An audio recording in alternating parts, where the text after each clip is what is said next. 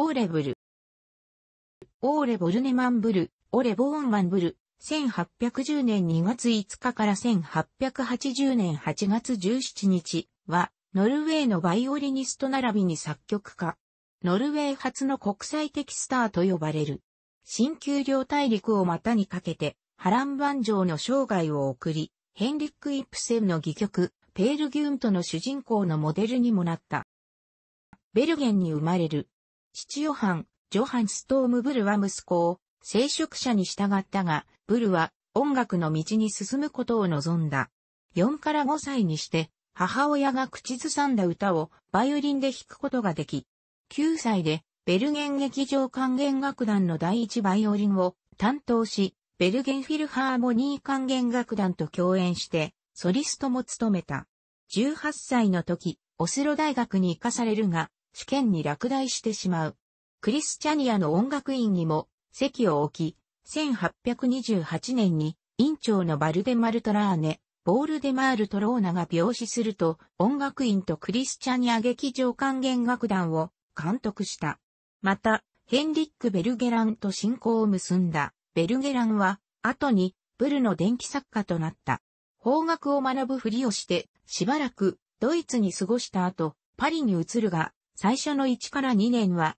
羽振りが悪かった。1832年に、モラビア出身のビルトゥオーゾ、ハインリヒ・ビルヘルム・エルンストとパリで同室になり、パガニーニ流の演奏様式を手引きされる。ついには、自身も上級のビルトゥオーゾとして成功を収め、何千回も演奏会を行った1837年だけでも、イングランドにおいて274回もの演奏会を開いている。ブルは非常に有名になり、巨万の富を得た。パリでビオームに指示すると、弦楽器職人としても頭角を現した。アマティア、ガスパロダサロ、グアルネリ、ストラティバリらの数々の優れたバイオリンやビオラを収集しており、1574年頃に、サロがオーストリア大公フェルディナント2世のために制作したバイオリンの一品も所有していた。グアルネリ・デルジェズーは、ブルミ防人によってベルゲン国立楽器博物館に贈されている。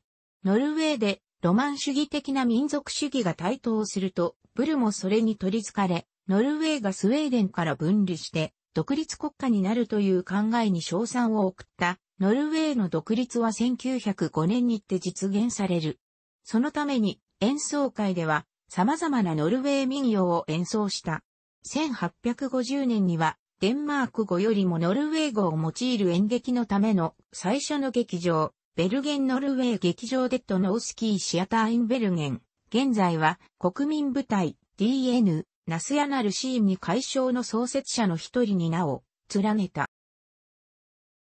1858年の夏に当時15歳のエドバルド・グリーグと出会う。ブルはグリーグ家と親交があり、ブルの兄弟はグリーグの母方のおばと結婚している。ブルはグリーグの才能を見出すと、その両親に息子をライプツィヒ音楽院に入学させて、才能を伸ばしてやるように説得した。ロベルト・シューマンは、ブルは最も偉大なビルトヨーゾの中の一人であり、演奏の速さと明敏さは、ニコロ・パガニーニの域に達していると書き残したことがある。ブルは、フランツ・リストとも親交があり、何度か共演したことがあった。ブルはたびたびアメリカ合衆国を訪れては大成功に恵まれた。1853年にペンシルベニア州に広大な土地を手に入れて入植地を設け、ニューノルウェーと名付けた。同年5月24日に1388ドルで公式に11,144エーカー、約45キロ平米もの土地を購入した。土地は4つの区域に分けられた。ニューベルゲン、現在のカーターキャンプ、その南 10km に位置するオレアーナ、ニューベルゲンより1マイル、1.6km 南に位置するニューノルウェー、そしてバルハラであった。ブルはバルハラの最高地点をノージェンスコールドと呼んでそこに城を建てようとしたが、果たせなかった。ろくに耕された土地もなく、開拓事業が間もなく頓挫すると、ブルは演奏活動に復帰した。1836年にフランス人女性のアレクサンドリーヌ・フェリシー・ビルミのアレクサンドレン・フェリーシー・ビラマイノットと結婚し、6児を設けた。ほとんどの子供が創生であり、1862年にはアレクサンドリーヌにも先立たれている。ブルの子供たちは以下の通りである。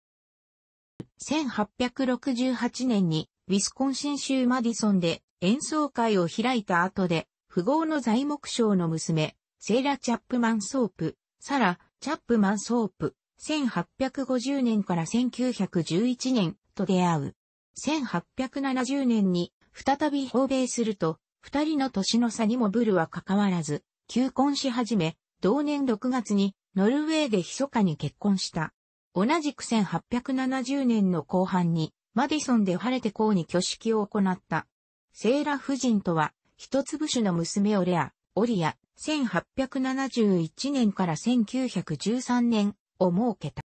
1872年には、ベルゲンの南に位置するホルダランケンオスのリーショーエン島、またはリーソーエン島を購入した。建築家のコンラート・フレドリーク・フォン・デアリッペを雇って、島の邸宅を設計させた。1880年には、病身を押して、シカゴで引退公演を行った後、同年8月17日に、癌のために、リー・ショーエン等の自邸で池を引き取った。ブルの葬列は、おそらくノルウェーの歴史に残る最大の見せ物であり、ブルの名声を裏付けるものとなった。亡き袋を運ぶ船を15隻の蒸気船と何百隻もの一説によると1000隻の小舟が先導たのであった。セーラブルは晩年の夫の演奏旅行に同伴し、時には手ずからピアノの伴奏を受け持った。ブルの没後、遺族はマサチューセッツ州ケンブリッジに移住した。セーラは同地の文化界の中心人物となり、1883年には夫についての回想録を上司している。後年はヒンドゥー教の思想に興味を寄せ、グルの初期の渡米を援助した。ペンシルベニア州、ポッター郡のオリオナ村は、ペンシルベニア北部の山間に位置し、ルート44とルート144、オーレブルロードが交差する地点である。現在、地図ではオリオナとなっているが、村の境界線を示す標識には、オリアナと書かれている。サスケ花周遊林の中に、オーレブル州立公園があって、ここはブルが最初に入植地にしようと選んだ場所である。未完成のオーレブル城が残された場所は散策路の中にあり、ハイキング客が盛んに訪れている。山側の景色はとても美しく、公園事務所によって管理されている。他にもブルの名前を残す場所がアメリカにある。例えば、ケンタッキー州にあるマンモス警部国立公園には、オーレブルコンサートホールという部屋がある。ブルが勝ってコンサートを行った場所だからである。また、ミネソタ州ミネアポリスのロリング公園には、ブルを記念した大きな銅像がある。2006年、アズラック・オフース監督が、オレブルー・ザ・チタンという映画を発表した。ブルの偉業とベルゲンに残されたままだったフランス人の妻と子供たちの受ける衝撃を描く内容であった。ところで、ブルはアメリカで建てられなかった城をノルウェーで建てることができた。リーセフィヨルドにあるリーショーエン島にそれはある。ブルは何？曲家の曲を書いているが、その多くは現存していない。楽しくご覧になりましたら、購読と良いです。クリックしてください。